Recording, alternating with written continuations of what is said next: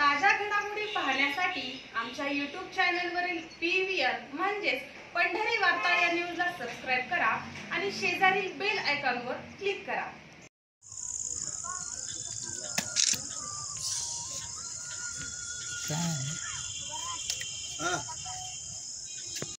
घटनेला एक वर्ष पूर्ण झालेले आहेत.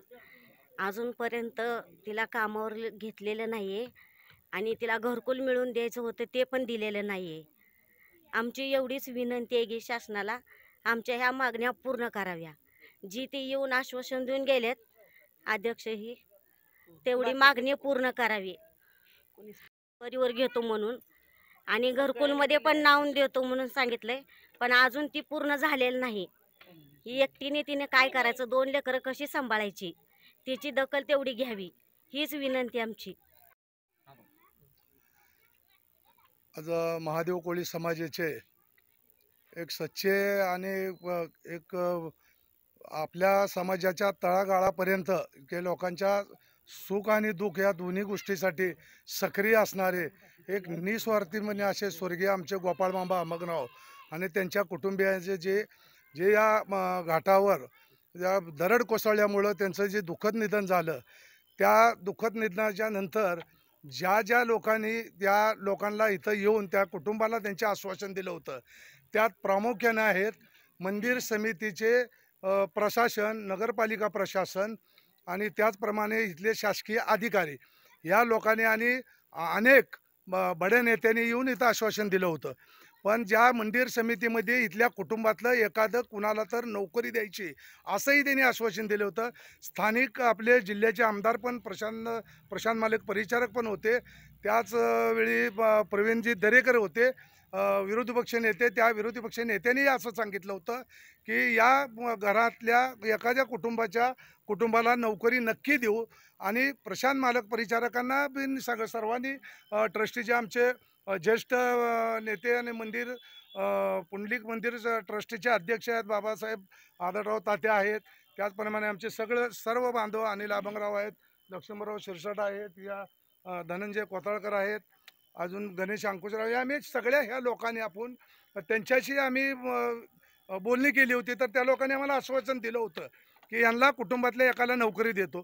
त्याचबरोबर प्रवीणजी दरेकर जे विरोधी पक्ष नेते आहेत त्या विरोधी पक्ष नेत्याने एक लाख रुपयाची देणगी या कुटुंबाला जाहीर केली होती. आणि त्यांनी सांगितलं होतं की आपण एक लाख रुपयाची देणगी मी स्थानिक आमदारांजवळ देतो आणि ते त्यांना देऊन जावं. पण आज तागायत त्यांना ती लाख रुपयाची देणगी पण मिळाली नाही आणि मंदिर समितीवर प्रशासनावर नोकरी पण मिळाली नाही. आणि त्यांच्या कुटुंबाला असं वाऱ्यावर सोडलं गेलं. पण ज्या वेळेस इथल्या जे बांधकाम केलं इथलं त्या बांधकामच्या बांध बांधकामचा अधिकारी त्यांना टेंडर देणारा जे प्रशासक जे नेमणूक आहे आणि ते कॉन्ट्रॅक्टर फक्त एका नॉमिनल कॉन्ट्रॅक्टरवर कारवाई करून दिशाभूल करण्याचा अख्ख्या समाजा त्यांच्या कुटुंबाचीच नाही पण अख्ख्या आमच्या महादेव कोळी समाजाची दिशाभूल करण्याचं काम त्या लोकांनी केलेलं आहे. तर आता प- मंदिर समिती प्रशासन असतील किंवा मग आमचे एक हाक आहे की मग आत्ता भाजी बी जे पीचे पंढरपूर मंगळवेडीचे आमदार आहेत समाधान दादा अवताडे असतील प- प्रशांत मालक परिचारक असतील किंवा विरोधी पक्षात असणारे भगीरथ दादा भालके असतील आणि अन्य प्रशासन असेल. पा पालकमंत्री पालकमंत्री तर येऊन गेले. पालकमंत्र्याला सुद्धा हाक दिली होती आम्ही. पालकमंत्र्यांनी सुद्धा आम्हाला त्यांनी आश्वासन दिलेलं की मंदिर समितीवर आणि कुठेतरी नोकरीला आणला देतो पण मंदिर समितीवर नक्की घेतो असं त्यांनी सांगितलं होतं. मग जर आज दिशाभूल तुम्ही करत असेल तर मग आमच्या समाजाला ह्याच्यावर काहीतरी विचार करावा लागेल. आणि इथल्या कॉन्ट्रॅक्टरवर जो तुम्ही मनुष्यवधाचा गुन्हा दाखल करण्याची आम्ही मागणी केली होती ती मागणी आपण का मान्य केली नाही ते गु- गुन्हा आपण का दाखल करून घेतला नाही? तर पोलीस स्वतः म्हणले होते की आम्ही स्वतः दाखल करतो परंतु ते त्यांनी केला नाही आणि कोळी समाजाची आणि त्यांच्या कुटुंबाची घोर अशी निराशा आणि फसवणूक केली आहे. आत्ता त्यांनी जे कुटुंब सगळं उघड्यावर पडले त्यांच्यासाठी ग एक राहण्याची व्यवस्था जे ग घर देणार होतं आपण घराची सुद्धा व्यवस्था करतो असं आपण म्हणलं होतं. ती घराची व्यवस्था करावी आणि एखाद्या त्यांच्या कुटुंबातलं कुणाला तरी ताबडतोब मंदिर समितीवर त्यांना घ्यावं अशी माझी दोन्ही आमदारांना आणि पालकमंत्र्याला खास करून माझी विनंती आहे. कोळी समाजाच्या वतीनं समस्त महादेव कोळी समाजाच्या वतीनं. आणि आज त्यांना जे दुःखद निधन झालं जे अपघातानं त्यांना गोपाळ मामाने त्यांच्या द- जी म- स्वर्गीय झाले त्यांना सर्वांना मी माझ्या कुळी महासंघाच्या वतीनं जय भवानी तरुण मंडळाच्या वतीनं आणि माझ्या कुटुंबाच्या वतीने सर्व समस्त महादेव कोळी समाजाच्या वतीनं पुंडलिक ट्रस्टच्या वतीनं आणि अ, चालक मालक संघटनेच्या वतीनं मी भावपूर्ण श्रद्धांजली अर्पण करतो आणि त्यांना त्या कुटुंबाला न्याय देण्यासाठी आम्ही सर्व समाजाने एकत्र होऊन आपण त्यांना न्याय दिला पाहिजे. आणि ह्या दोन्ही आमदार आणि प पालकमंत्री ह्या यांनाही आपण परत एकदा साकडं घातलं पाहिजे. परत जे गेल्या वर्षी ज्यांचं दुःखद निधन झालं त्या घटनेला आज एक वर्ष पूर्ण झालेलं आहे.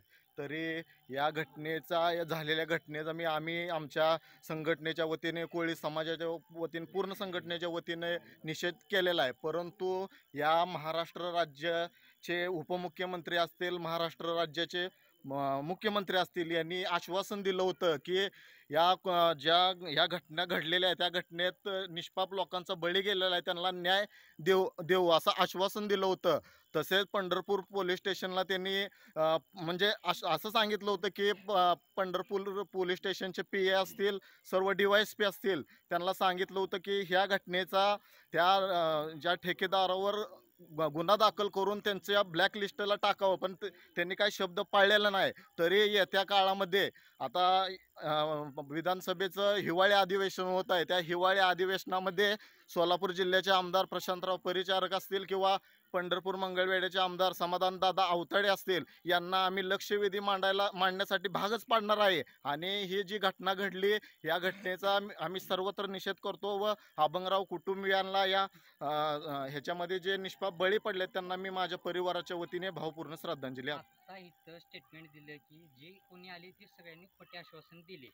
कोळी समाजाची पुढची भूमिका काय असणार? आता या ठिकाणी कोळी बांधवांनी सांगितलेलंच आहे. जे जे आता या आता एकीकडं शंभर शंभर वर्षापूर्वीचे जुने घाट बांधलेले आहेत तो ते घाट आहे असे आहेत. पण जे आता पाच चार दोन वर्षाखाली जे काम चालू आहे ते निकृष्ट दर्जाचं काम आहे. आणि आमच्या कोळी बांधवांनी सांगितल्याप्रमाणे जर ह्या आमच्या बांधवाला आता इथून पुढे न्याय नाही मिळाला तर आम्ही कुठलेही काम या चंद्रभागेच्या पत्रामध्ये होऊ देणार नाही. ताज्या घडामोडी पाहण्यासाठी पी व्ही एन म्हणजेच पंढरी वार्ता न्यूज या चॅनलला सबस्क्राईब करा. आणि शेजारच्या बेल आयकॉनवर क्लिक करा.